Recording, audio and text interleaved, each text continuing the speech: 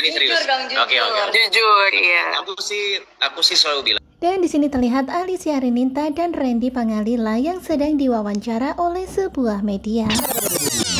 Dan di sini Randy menceritakan tentang Alicia Renita sebagai lawan mainnya yang sangat profesional. masih sama Alicia.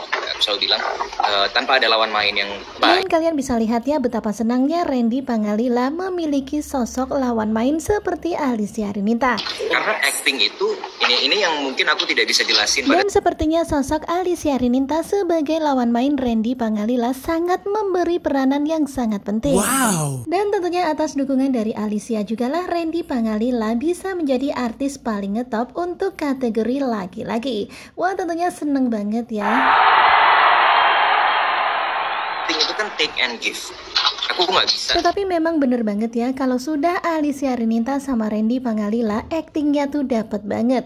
Bahkan kesannya tuh sangat natural. Bahkan seperti beneran banget ya ketika acting sedih, acting bahagia semuanya tuh seperti alami aja. Saat aku berakting dia bisa memberikan balik.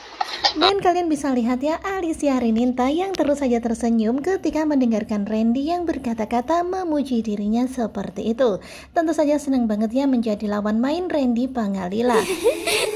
Dan tentu saja kita senang banget ya melihat dua orang ini yang terus-terus saja tersenyum ya ketika diwawancara. Jadi ah, ah, maksudnya pada Dan sepertinya memang mereka berdua tuh kompak banget ya dan mereka tuh sudah berteman sejak lama. Jadi ya gitu deh actingnya bisa terbangun secara natural. gitu. Daripada dan dia tuh gimana ya? Dan tentu saja harapan kita semoga saja TJYK ini awet ya Semoga saja episodenya panjang Dan semoga saja nantinya menyusul ya Alicia Renita akan mendapatkan penghargaan artis paling ngetop. Karena memang dari sisi aktingnya tuh Masya Allah ya luar biasa aktingnya Alicia Renita Nah tentunya kalian juga pasti makin penasaran kan dengan kelanjutan takdir cinta yang kupilih? Karena hari ini libur dan besok libur Jadi kalian harus bersabar sampai lusa.